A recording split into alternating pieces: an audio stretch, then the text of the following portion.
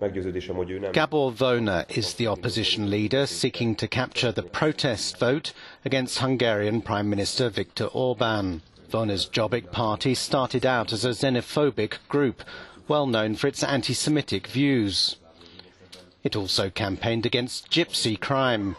Roma gypsies are the largest ethnic minority in Hungary. But as chairman of the party, Vona has gradually brought Jobbik into the mainstream in the hope of widening its political base. By focusing its attacks on corruption and cronyism and highlighting the need to tackle social inequality in Hungary, Jobbik has struck a chord with disaffected Hungarians.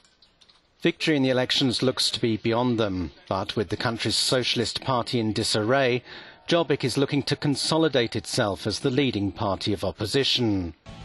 Vona is focusing on a top 40 list of winnable constituencies, all of them outside Budapest and mainly in rural areas, while giving left and green parties a clear run in urban zones. Orban's Fidesz party was roundly beaten in a rural by-election last month when opposition parties united behind a single candidate and Jobbik is hoping that tactical voting will now work in its favour in the national election.